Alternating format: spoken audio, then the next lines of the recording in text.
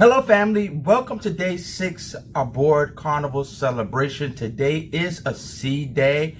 One of the things I have on schedule is a tailgate party class. I never did one of these classes aboard Carnival, so I'm excited about that. And then I will get into doing some things I have not done all cruise long as well. Maybe try out something I haven't eaten, something I haven't done all cruise long. So let us go. So fam, I had Shaq's Big Chicken for lunch and I finished up my review, the grilled chicken edition. Make sure you go and check that out. And so I'm getting ready to go to the tailgate party class. I'm excited about it. I've never done something like this before. So come along with me on this journey. So Carnival Kitchen is on the sixth floor. I am going to be a little early, but I want to just get up there in time. First time being being a part of this whole process with cooking in a, on a in a cooking class on a ship. So let's go check it out. Carnival Kitchen is just past Emeril's, the bistro.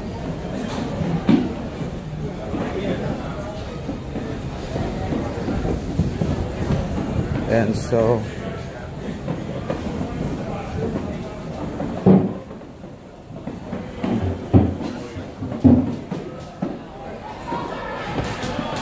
I guess it's not open yet.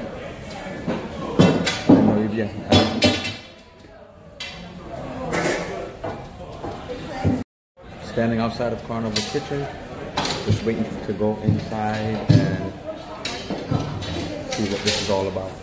So before coming in here, they have you fill out a questionnaire. Just asks if you were in contact with anybody that had the flu, have you had any gastro inter gastro issues within the last three days or so. So just know that they have you fill out a health questionnaire. They also say that you must wash your hands and follow the protocols of the carnival kitchen. So be aware of the, of the fact that you will have to fill out a questionnaire before coming into the class. I guess this is the screen that we can get to see what the person is cooking. This is the station I'll be cooking at. Three ingredients that is for your soft pretzel. So when we are going to prepare soft pretzel dough, we need to grab that ingredients from your second layer. Yes. And third item, we are going to prepare that is a cheese empanada, or you can say it queso. Queso means cheese. So cheese empanada we are going to prepare. So first you will find there is a shredded mozzarella, white cornmeal, and one bowl with turmeric powder, onion powder and garlic powder together. So that is for your cheese empanada, that third layer or that three items. Next you will find panko breadcrumb. When we are going to crunch the chicken poppers, we are going to use two whole eggs. Later I will explain. Also baking soda. That also I explain you later on and some amount of flour in a steel bowl. Also, we have a quartz sea salt in a small ramekin. These four items or five items we keep inside. Later I will explain for what purpose we are keep inside. Also, you will find there is a three condiments.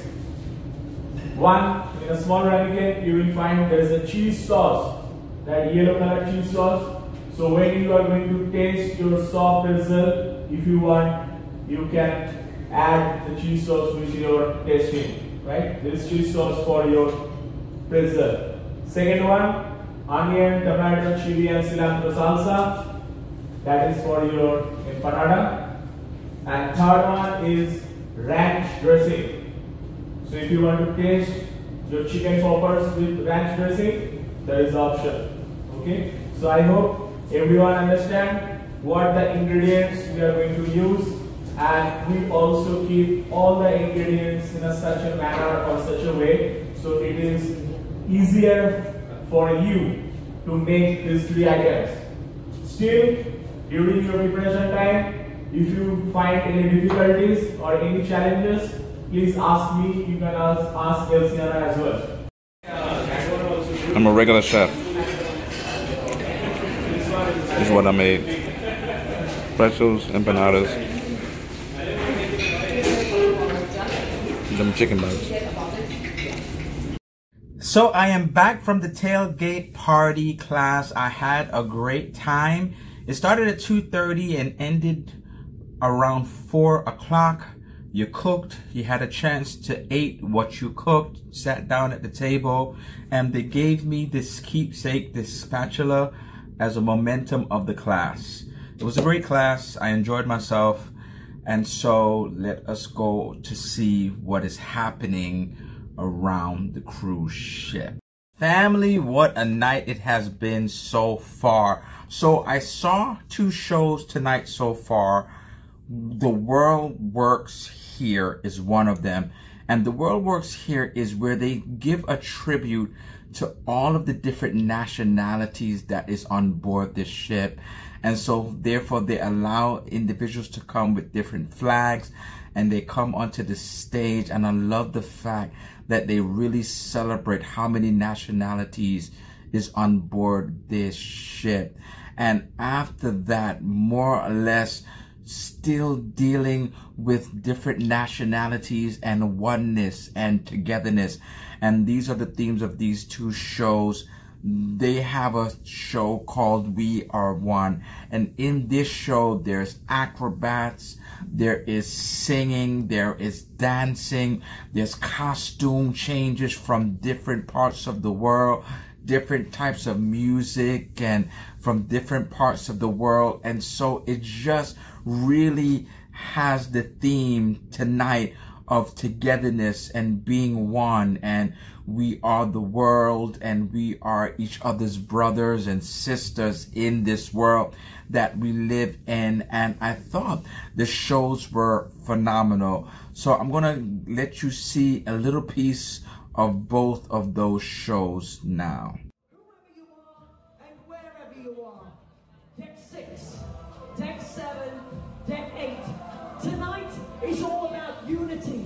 It's about us coming together and celebrating our differences. Take a look around this room. We have people from all around the country, all around the world. Each of us different. Different genders, different races, different religions. We believe different things. We love different people. There are countless reasons in this world that we could call ourselves different. But underneath it all, we have hearts that beat. We have blood flowing through our veins. So tonight, let's come together as one. Whether this is your first cruise, your 31st cruise, or your 101st cruise, you are all now a part of the Carnival family.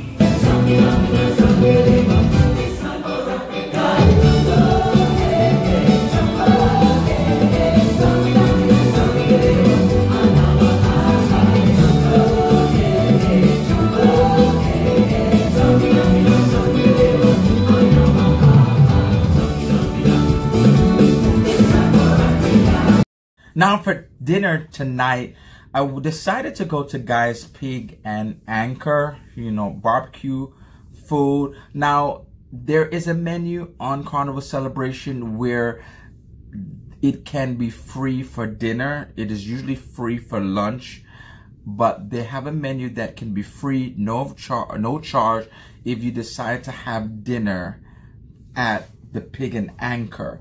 And so they give you three choices of meats, three choices of sides, and you get one choice of dessert. So I decided to have the brisket for my protein, the chicken, and I asked for dark meat, and I wanted also the sausage. And for my sides, I wanted macaroni and cheese.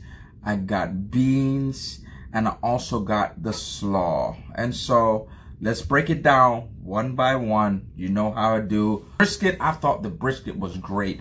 It was fatty, it was flavorful, and then I love from them the brown sugar sweet and sticky sauce. So I thought that with the sauce especially, but even without it, it was just flavorful. I gave it a 5 out of 5. I love that brisket.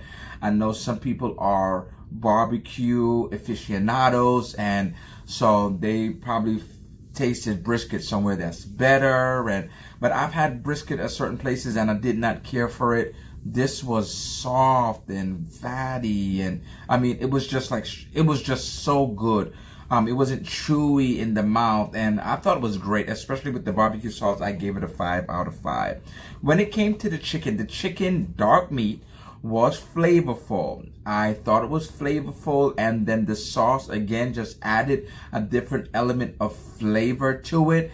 Um, it was moist. Um, it didn't give notes of like heatness and complex flavors. It was just um, dark chicken, and so I gave it a four out of five. Then the other protein was the sausage. I thought the sausage, it had cheese in the middle of the sausage. I thought that the sausage was just okay. Um, it wasn't exceptional. It wasn't over the, it wasn't bad. So I gave it like a three out of five. It was just okay. It wasn't, it didn't give any elements of really like heat and it just was just a small piece of sausage. So I gave it a 3 out of 5. When it came to the size, the macaroni and cheese, I love macaroni and cheese. The thing about this macaroni and cheese, I hate when you go to certain restaurants and it's soupy. It was not soupy. It was, I don't know how sure they prepared it. Maybe, I don't know sure if they baked it. But whatever, how they prepared it, it was not soupy. The flavors were there. And I love the flavors that they had. Was it the best? No, it wasn't. You know, nothing like a nice baked macaroni and cheese. It was a small portion as well. So I gave it a three out of five. It was it was good. It wasn't exceptional. So I gave it a three out of five. The beans was not good. It didn't do anything for me. There was no flavors to it. It, it didn't have uh, flavors like salt or heat or sweet. Or, it was just blah. It's almost as if like it came out of a can. You you warmed it up and put it on the plate and added nothing to it. It was just plain to me. And so that had to be a one out of five. It was not good. The slaw, same thing, didn't really give any flavor um, in the slaw. It was just like shredded and heated up and not much flavor. I didn't feel it just it just didn't do it for me. And once again, I had to give it like a one out of five. No sweetness, no no real heat, no you know saltiness. It just wasn't. It was just flat, just flat in flavor. Um, so that was the slaw. When it came to the apple cobbler now, I thought I liked the apple cobbler. Um, I'm not a apple cobbler aficionado to say what's the best apple cobbler. So I thought that the apple cobbler was good, but it needed something to cut the tartness of those apples. And so I asked for them to give me, you know, in guys on on on celebration, they have the soft serve ice cream. So I needed something to cut the tartness. So I did ask for the soft serve ice cream. And when I asked for it and I had it with the the cobbler, it was it was good. But it really should come with it. Like it really should have a little cup of ice cream or something that comes along with that cobbler. So middle of the road. It, was sweet. It had some tartness to it.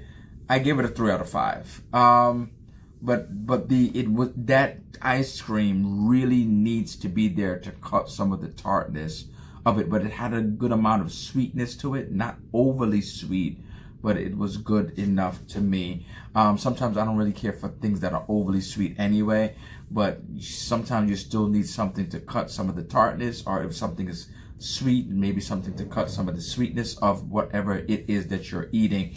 And so that was my night. I decided to do um, those things. Um, hope you like the footage of it. I am supposed to be going to another event. The Evolution is supposed to be this big party. Family, the Evolution party was crazy. It was in the center stage. It was phenomenal. You had the DJ, but what I didn't realize, they also had musicians coming in. They had some of the singers dancing. It would just became a really big thing. And so it was awesome. I'm glad that I went there for a few, a, a little bit of time. I didn't stay for the whole thing, but it was really good. I'm going to show you a little bit of a video from that show and I, I will bid you goodbye. Thank you so much for following me on this journey. Thank you for coming to see about my experience on Carnival Celebration. This is day six. One more day to go, guys. Day seven. Hopefully you can come and join me on day seven.